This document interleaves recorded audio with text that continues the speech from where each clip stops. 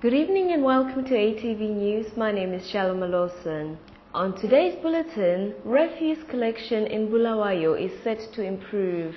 A Women's Farmer Association is launched. The International Book Fair in Harare has a big student following this year. And Zimbabwe's national rugby union team scouts for talent.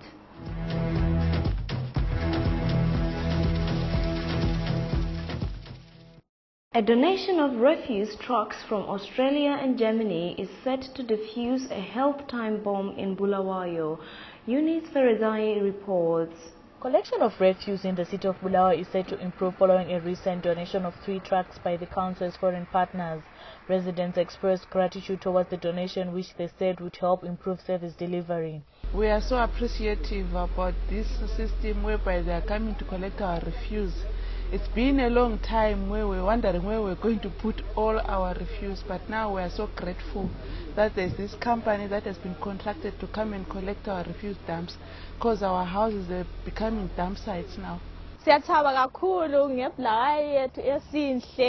Ngabantu be-city council kakhulu sihlanzekile kuyasithabisa kakhulu sesihlala endaweni ehlanzekileyo asa siyehlile We are so happy as residents. The service delivery has so much improved. There's no more rubbish around everywhere. You know, um, now the Bulawayo City Council are coming to collect rubbish.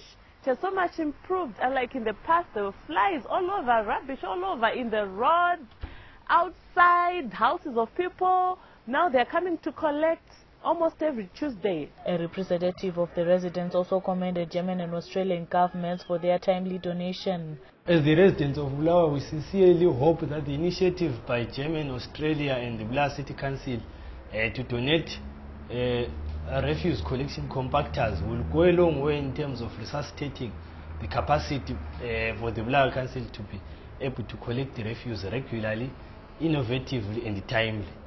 An NGO official said his organization sought to promote good relations between Bulawayo residents and the council.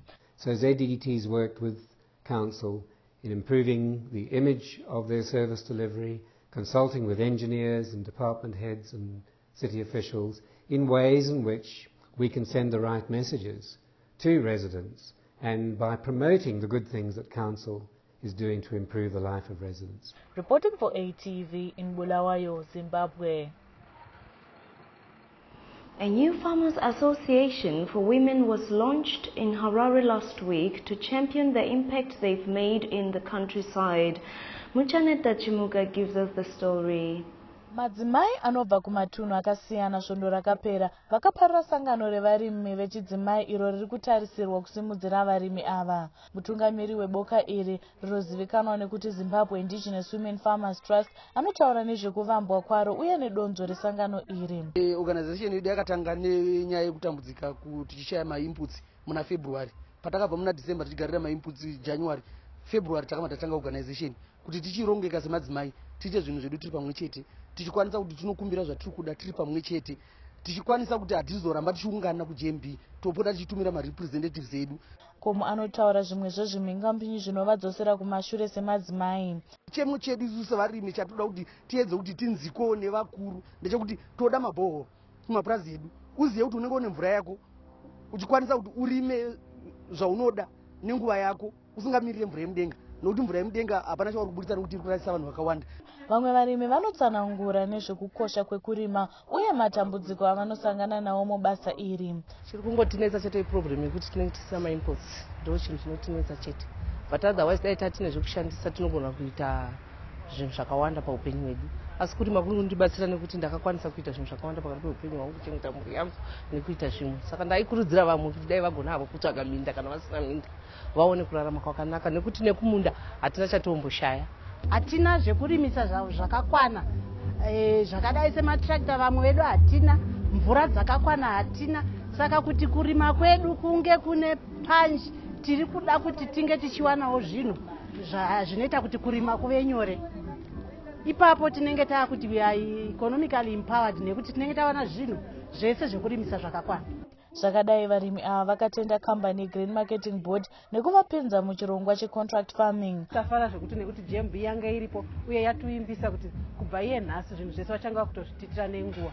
Uyezve vabva vati vachatanga nesu yavari kuti contract farming vakuzotanga nesu sinzi tanga tiri vanhu vatanga tinawo zuva ranhasi kana chirongwa ichi chikatsigirwa chichabatsira mukudzinga nzara yakatarisana nezviuru nezviuru zvevanhu munyika yose ndini mutori wenhau weatv ndiri muharare zimbabwe There has been a much bigger turnout for the Zimbabwe International Book Fair this year, with more and more students visiting. Many see this as significant because of the rising dominance of social media. Jairo Saonyama reports. The Zimbabwe International Book Fair, which was held last week, attracted many students from in and around Harare amid efforts to motivate the young to take interest in reading.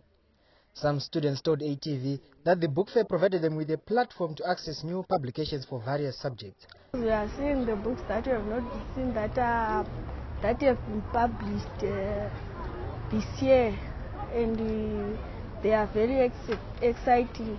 tiona mabhuku amwe atasingaoni anotibatsira kuzvikoro every kwatinoenda kutibatsira tikuona mabhuku anozotibatsira chi in future mberi kwefuture yedu I see many books that I've ever seen and I learned the books. Exhibitors said the biggest number of people who attended the fair were mostly students. Uh, we are receiving students from different schools surrounding Harare, the same as primary schools as far as Beatrice. We are also receiving uh, students from secondary schools who are coming for information from Trust Academy.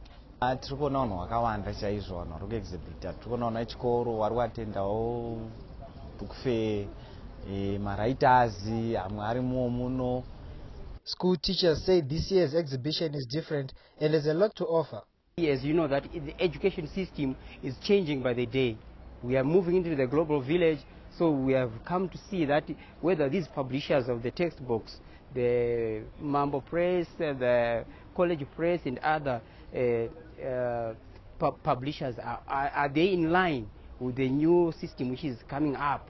You can, uh, you can actually see from the enthusiasm that they have going around the stands um, seeing all the books, and uh, I think um, we actually actually seen quite some quite a number of good books that we would like to uh, actually like to bring to our school, which I think would be very helpful towards um, actually helping children learn. Meanwhile, the book fair ended on Saturday with stakeholders describing it as a resounding success.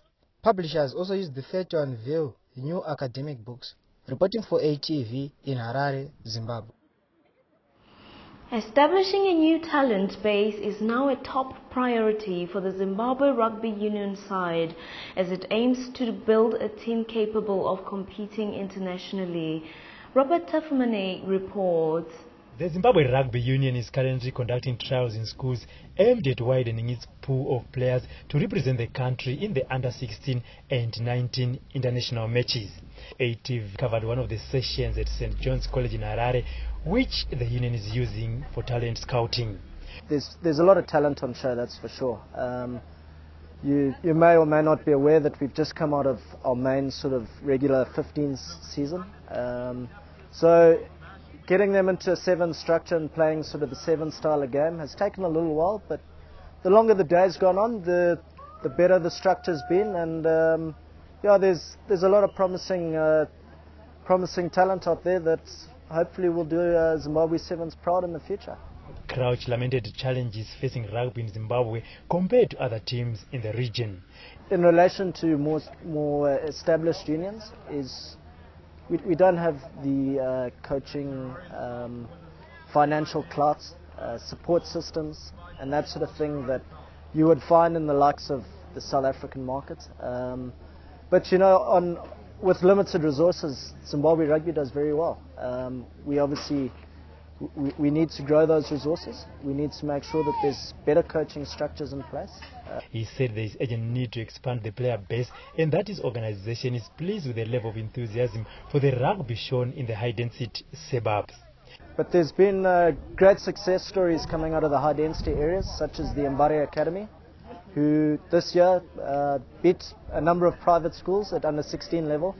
So we need to make sure that um, the likes of the Mbare Academy are, um, are, are being facilitated more. Meanwhile, the young Sevens rugby players drawn from various schools in the country clashed in a round-robin phase last week. The provinces were divided into two groups of four teams each in the under-19 category. Pool A comprised of Harare North, Harare West, Matabeleland South and Bulawayo, while Masvingo, Harare South, Mashonaland West and Harare East battled out in Pool B. In the under-16 category, Pool A comprised of Harare South, East and West, and Mashonaland West, while Pool B has only three teams from Harare North, Masvingo and Bulawayo. Reporting for ATV, Robert Tafumane, Harare, Zimbabwe. Thank you for joining us. Good night.